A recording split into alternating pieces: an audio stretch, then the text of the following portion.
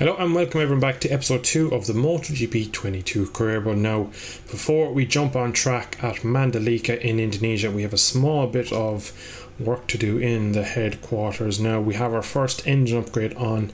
We're instantly going to go straight back in. Another one, we're going to automatically assign staff. Leave it like that. The game knows best. Three weeks and we'll get another torque increase Two upgrades to the engine should help me throughout the season as we look to be struggling small bit for pace and especially a little bit underpowered. But now, time to jump into Indonesia. So, for the end of practice, at the end of FP3, we're in P4. The pace wasn't that good throughout the session. I went out in P3 or practice three, just went round and round. I was about five and a half seconds off my first few laps. Slowly start to understand how to ride this bike a bit better and um, was riding power 2 medium medium did the good kind of long run. Every lap quicker break braking later got a bit more comfortable. Adjusted the setup slightly just to uh, increase the chances of less stoppies so I was just having better front end feeling. Uh, I will show the setup before the race if I do tend to run it because at the end of free practice three I was still in last but three tenths off of the last rider and I decided to stick two softs in drop a bit of fuel out and go power three. And that put me up into P4 so uh, maybe we're a bit out of position, but I don't know. But I'm happy that I'll be directly through to Q2 in Mandalika. So into the final corner we come. Unfortunately, this is my third attempt, and I've made mistakes on both laps so far. One, I had a mass wheelie in the penultimate corner that cost me my lap. The second lap, I invalidated it in the fast corner of turn six, and uh, I was up in sector one as well, believe it or not. I had Alberto Surra maybe a second and a bit ahead of me, so I had a good little marker. So we'll see what we can do on this lap. I really need to get a lap on the board now, though. Deep into three.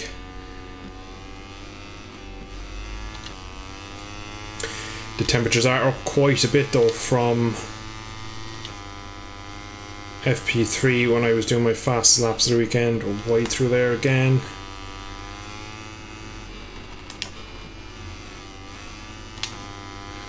Curb really affects you if you touch or two there.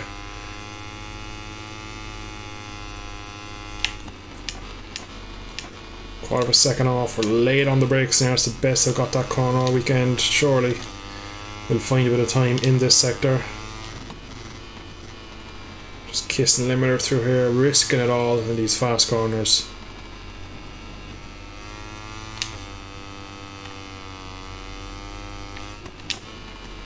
Lost a bit of time through there.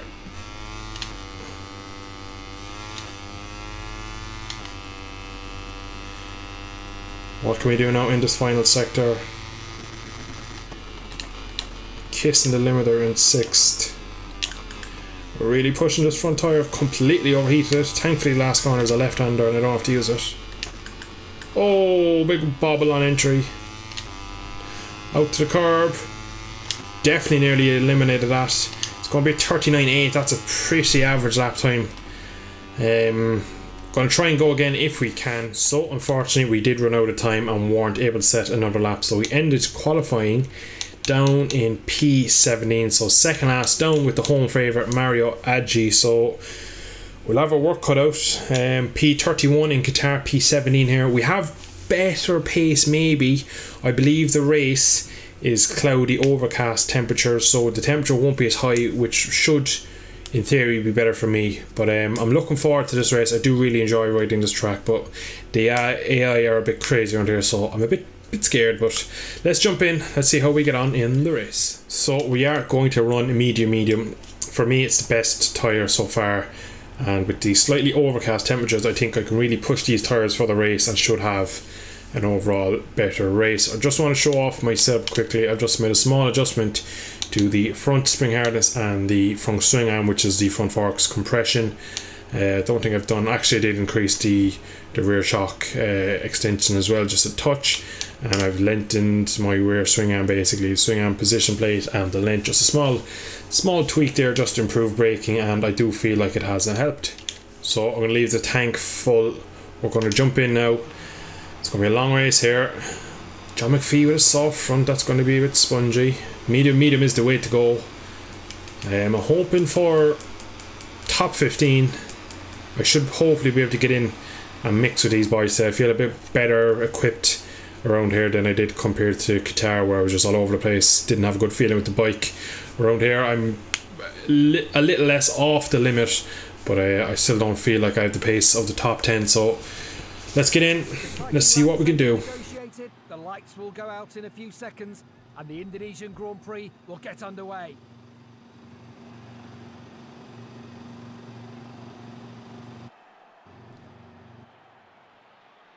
I have no game audio. What the hell? Oh, what a launch I got.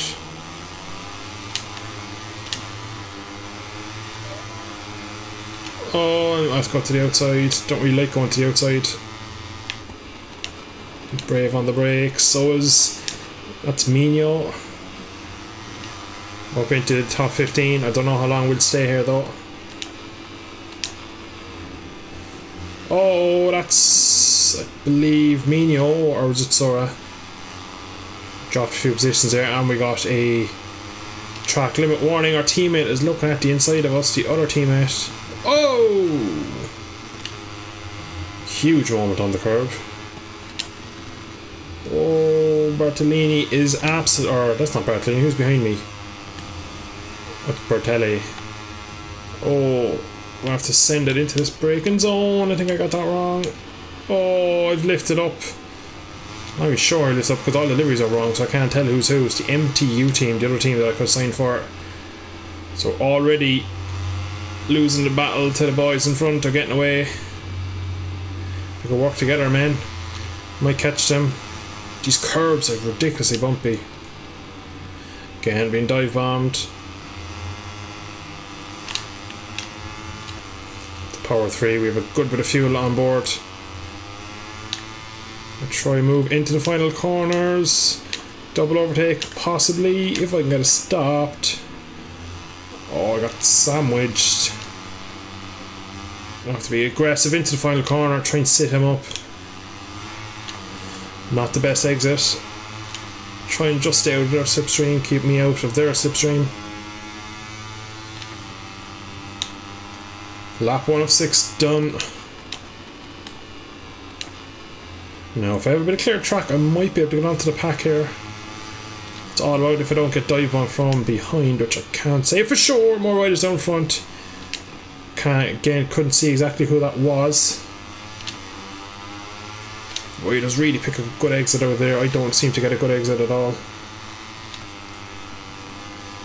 Not a big moment that time through there, thankfully. But through the sector here, the fast stuff, the power stuff, the AI just have something on me. I'm overheating the rear tyre. That's a bit alarming.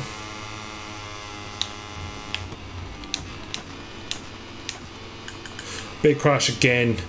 That is Ivan Ortola, I believe. So we're actually in the points now. Moray again, we battled a lot in Qatar with him. Again though, if they just dive on me the wrong place, I don't I want to be carrying loads of corner speed through here, but I just have to go slightly defensive over the way they ride. I'm having trouble though with my rear tyre already, this is alarming. Again, we seem much quicker in, but we got this wrong. Got this badly wrong. Oh, I see try and hold it though.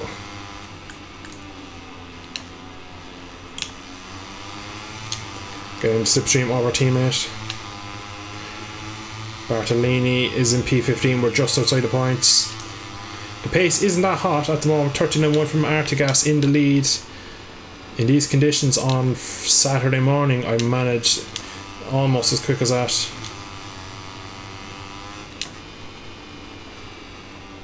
Whoa, front on the move through there. It's really going to hamper my line through here. Let's one of the Aspar bikes through, run wide, that's going to be another track limits warning, and that's a huge one, totally not crash. I was literally expecting to go down. That's cost us any points there, I reckon.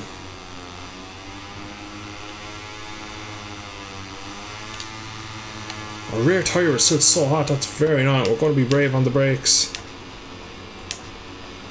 Again, they just re-dive you. you they're so aggressive.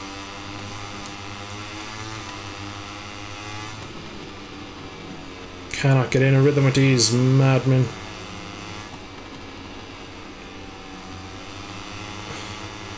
The annoying part is I am quicker than these guys. I just can't use my pace because they just seem so good on corner entry and they seem to get a better exit than me in most places. Might need to start using more fuel a bit often. Again, I got sucked in by them in front. Don't seem to have the stability under the front in the race. What is that? Like, he just pushes me across the curb.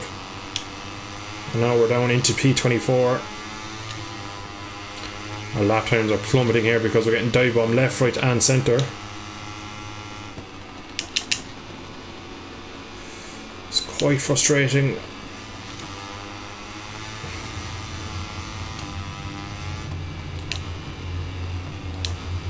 And we're down! We have done our first proper mistake of the season, and that surely is going to cost us any chance of finishing anywhere near the points today. Disaster in Mandalika. So, Xavi Artigas comes home with the victory. John Masia once again on the podium alongside John McPhee. Fortunately, we did not finish that race after crashing out. Rookie mistake by myself, but when you have the AI on 120%, and all assists off, and you're just absolutely on the limit everywhere. These guys are just so aggressive. So I think the key is the one thing I'll take away from this weekend is that I just need to maximize my qualifying and try and get a good start and see what I can do because when I have clear track I can ride well but I got really flustered once again in the bunch it's the same as in Qatar so we need to kind of figure that out and see how we can kind of get away from them a bit better so we're going to have to really prioritize qualifying in the future so we are down to P20 in the championship, so not a good start. We are already a long way off Jaume Masia in the championship lead. So unfortunately, a really disappointing weekend overall. Some small positives to take. We did have some good pace on our own, but we just really need to fix the fix the close quarters with the AI. We're struggling a lot. We're just getting beaten up a lot, but we are going to look at some minor frame upgrades. We have a better reactivity one. We're going to build that on. Again, automatically assign them to two weeks. And um, yeah, we'll see what that does. So two weeks for that. If we go to the engine one, does that mean there's still going to be two weeks? Ooh, that's gone up to five weeks now. So I'm to have to put more men on that. Um, who's most? Or you're 50 on the engine. That brings down to three weeks. I'll just do that because that's one extra. That's down to three weeks and then the frame one goes up to oh no wrong one frame goes to three weeks as well so then in three weeks we got a nice nice upgrade for the frame a new engine part a new frame so three weeks time will bring us we'll get it for Portimao and we'll have a, a new upgrade so again we're going to have to stick with the bike we have now until Portimao Texas Termas up next um, I'm usually good around Texas, so hopefully we can get some points there. And maybe around Termas again. It's a power track, so we might be in trouble there. But I am going to leave it there for today's episode two of the MotoGP 22 career. If you did enjoy today's episodes of career mode, if you consider subscribing down below, I'd be massively appreciative. Drop a like if you enjoyed my struggles, and I shall catch you all in the next video. Thank you for watching. Bye bye.